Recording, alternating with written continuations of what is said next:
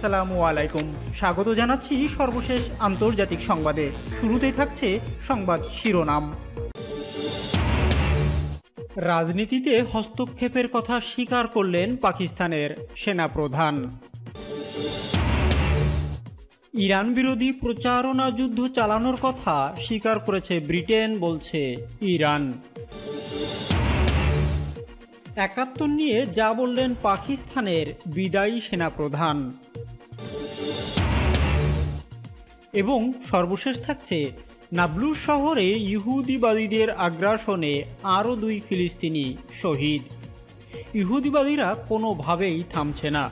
ফিলিস্তিনিকে সর্বদিক থেকে গ্রাস করার সম্পূর্ণ ষড়যন্ত্র চলছে ইহুদিবাদীদের মনে।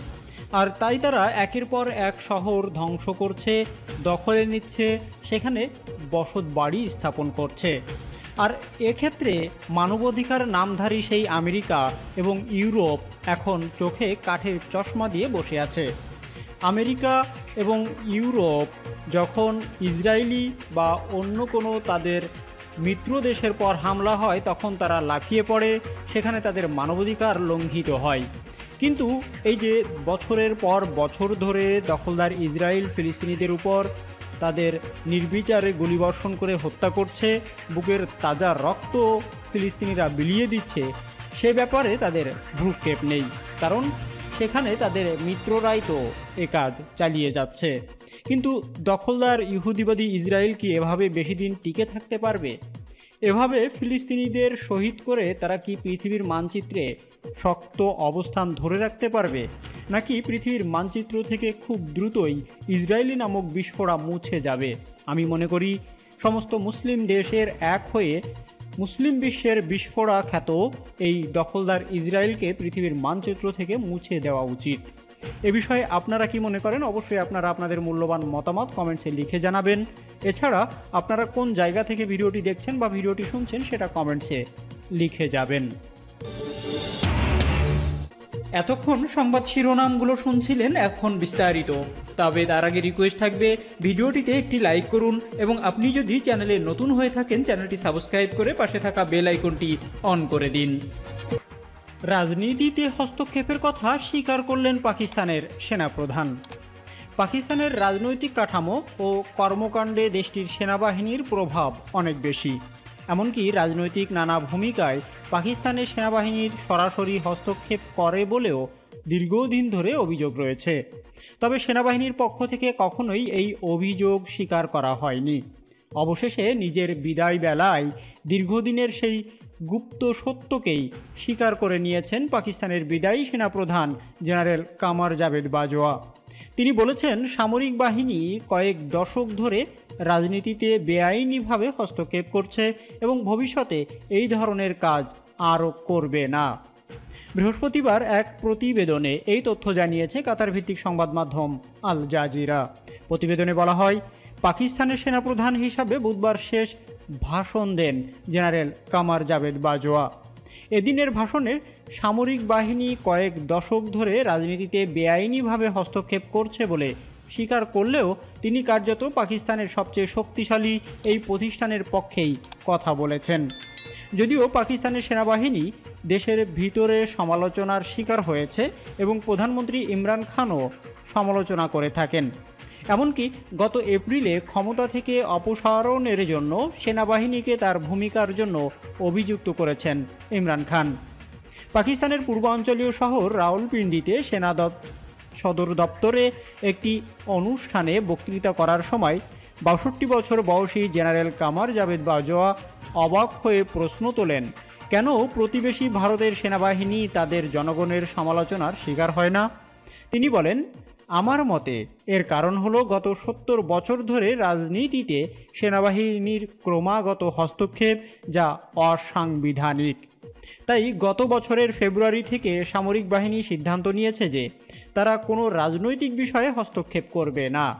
তিনি আরও বলেন, সামরিক বাহিনী তার ক্যাথারসিস বা রাজনৈতিক সংশ্লিষ্টতা থেকে বের হতে শুরু করেছে।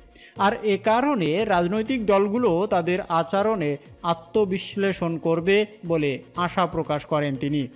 জেনারেল বাজোয়া বলেন, বাস্তবতা হলো পাকিস্তানের সামরিক প্রতিষ্ঠান, রাজনৈতিক দল এবং সুশীল সমাজ সবই ভুল করেছে। আর এটাই সময় আমাদের তাদের কাছ থেকে শেখার এবং এগিয়ে যাওয়ার।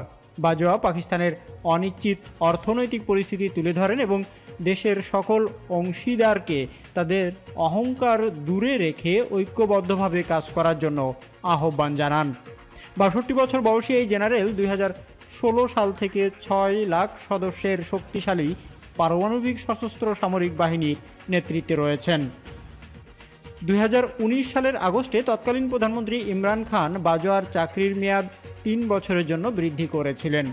আর সেই মেয়াদ শেষে আগামী মঙ্গলবার অবসরে যাওয়ার কথা রয়েছে তার। আগামী কয়েকদিনে প্রধানমন্ত্রী শাহবাজ শরীফ পাকিস্তানের নতুন সেনাপ্রধান ঘোষণা করবেন বলে আশা করা হচ্ছে। আল জাজিরা বলছেন, মোটামুটি দশ মিনিট স্থায়ী বুধবারের ওই বক্তৃতায় জেনারেল বাজোয়া রাজনীতির বিষয়ে যথেষ্ট সময় ব্যয় করেন। একই সঙ্গে সামরিক বাহিনীর প্রতি নেতিবাচকতা এবং কঠোর সমালোচনার নিন্দাও জানান। মূলত পাকিস্তানের অর্থনীতিতে দেশটির সেনাবাহিনীর বড় অংশীদারিত্ব রয়েছে এবং দক্ষিণ এশিয়ার দেশটির বৈদেশিক বিষয়সহ জাতীয় নিরাপত্তা নীতি নির্ধারণে যথেষ্ট প্রভাব বিস্তার করে থাকে সামরিক বাহিনী। এছাড়া উনিশশো সাতচল্লিশ সালে স্বাধীনতা লাভের পর থেকে পাকিস্তানের কোনো প্রধানমন্ত্রী আজ পর্যন্ত তার মেয়াদ পূর্ণ করেননি। এছাড়া বুধবারের বক্তৃতায় বাজোয়া স্বীকার করেন যে, রাজনৈতিক দল এবং জনসাধারণ তাদের অধিকারের কারণেই সেনাবাহিনীর সমালোচনা করতে পারে। কিন্তু সেনাবাহিনীর বিরুদ্ধে অমার্জিত শব্দ ব্যবহারের বিরুদ্ধে সতর্ক করেন তিনি। জেনারেল বাজোয়া ভাষায় সবাইকে মনে রাখা উচিত, এই ধৈর্যের সীমা আছে। আমি আমার এবং সেনাবাহিনীর প্রতি এই আক্রমণাত্মক সমালোচনা উপেক্ষা করতে চাই। কারণ পাকিস্তান আমাদের সবার জন্য সবচেয়ে গুরুত্বপূর্ণ। ইরান বিরোধী প্রচারণা যুদ্ধ চালানোর কথা স্বীকার করেছে ব্রিটেন, বলছে ইরান। ইরানে সহিংসতা ও নৈরাজ্য উস্কে দেওয়ার কাজে নিয়োজিত লন্ডন ভিত্তিক টিভি চ্যানেলগুলোর পক্ষ নিয়ে ব্রিটিশ পররাষ্ট্রমন্ত্রী জেমস ক্লোভারলি যে বক্তব্য দিয়েছেন, তার বিরুদ্ধে কড়া প্রতিক্রিয়া জানিয়েছে তেহরান। ইরানের পররাষ্ট্র মন্ত্রণালয়ের মুখপাত্র নাসের কায়ানি বলেছেন, ব্রিটিশ মন্ত্রী মিথ্যা স্লোগান দিয়ে আনুষ্ঠানিকভাবে ইরানের বিরুদ্ধে প্রচারণা যুদ্ধ চালানোর বিষয়টি স্বীকার করে নিয়েছেন। লন্ডন থেকে সৌদি টাকায় ফার্সি ভাষায় সম্প্রচারিত ইরান ইন্টারন্যাশনাল চ্যানেলের অফিসে সম্প্রতি সশস্ত্র গার্ড নিয়োগ দিয়েছে ব্রিটিশ পুলিশ। ইরানের পক্ষ থেকে কথিত হুমকি মোকাবেলার লক্ষ্যে ওই নিরাপত্তা দেওয়ার সিদ্ধান্ত নেওয়া হয়েছে বলে ব্রিটিশ পুলিশ দাবি করেছে।